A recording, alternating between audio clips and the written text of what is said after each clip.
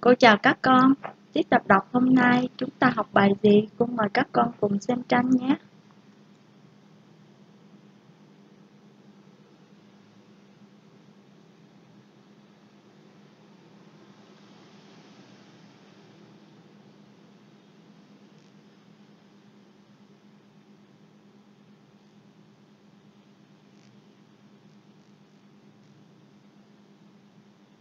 Rồi, bạn đang cho cô biết tranh vẽ những ai?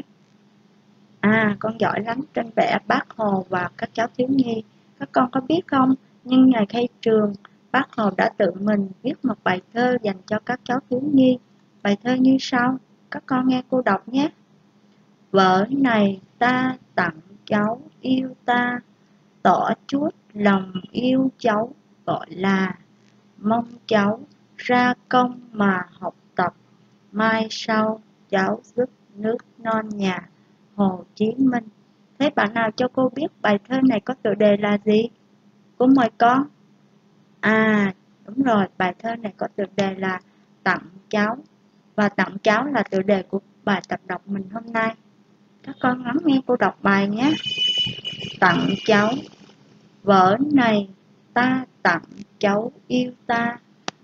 Tỏ chút lòng yêu cháu gọi là mong cháu ra công mà học tập. Mai sau, cháu giúp nước non nhà Hồ Chí Minh. À cô giới thiệu các con, Hồ Chí Minh là tên tác giả của bài thơ này nhé các con.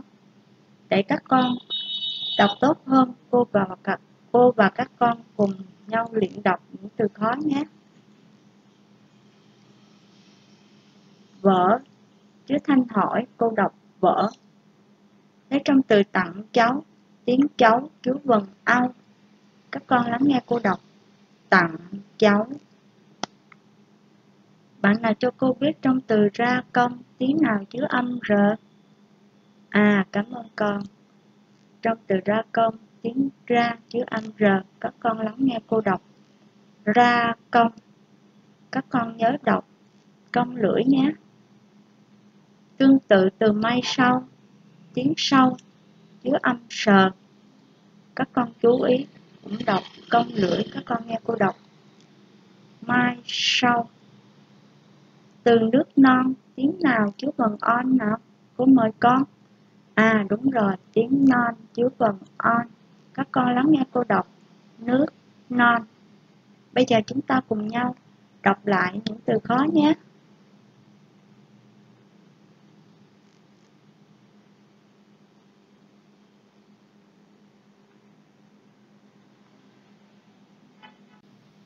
Tiếp theo, các con cùng nhau đọc lại những từ khó trong bài nhé.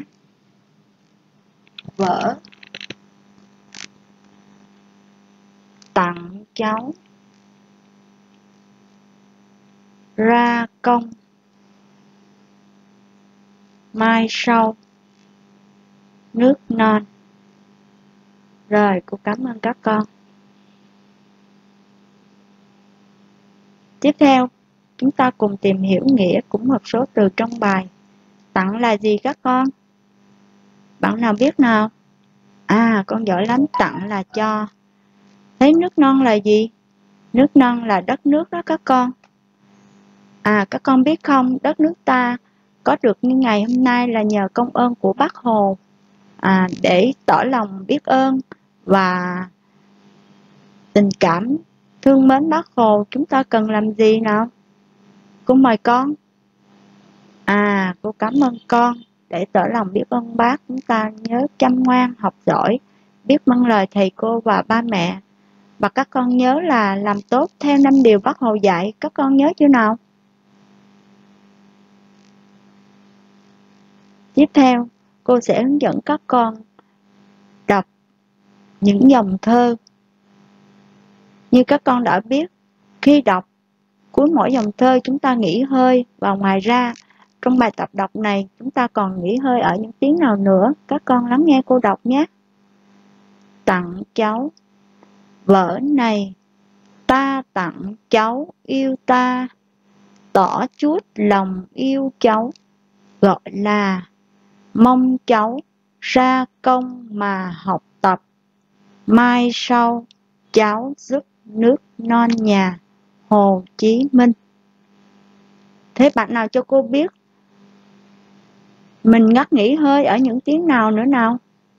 Cô mời con. À cảm ơn con. Mình ngắt nghỉ hơi ở những tiếng này, tiếng cháu và tiếng sau. Cô mời các con đọc cùng nhau đọc nói tiếp từng dòng thơ và các con chú ý, khi mình đọc nói tiếp từng dòng thơ, bạn nào đọc dòng thơ thứ nhất thì nhớ đọc tên, nhớ đọc tựa bài. Bạn nào đọc dòng thơ cuối cùng thì các con nhớ đọc tên tác giả. Các con nhớ chưa nào? Cô mời các con cùng nhau đọc lại bài.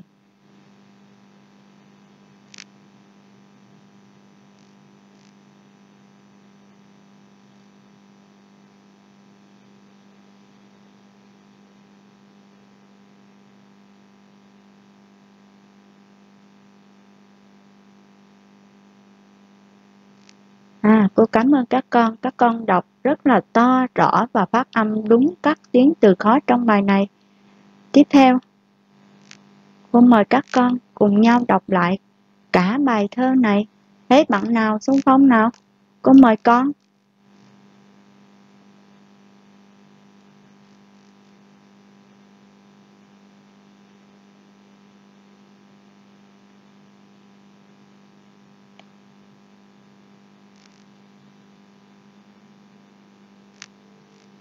Cô cảm ơn con, con đọc rất là trôi chảy và to rõ. Con giỏi lắm. Các con biết không, bài thơ này nói lên tình cảm yêu mến, sự quan tâm của bác Hồ đối với các bạn học sinh. Bác mong các bạn nhỏ chăm học để lớn lên góp phần xây dựng nước nhà.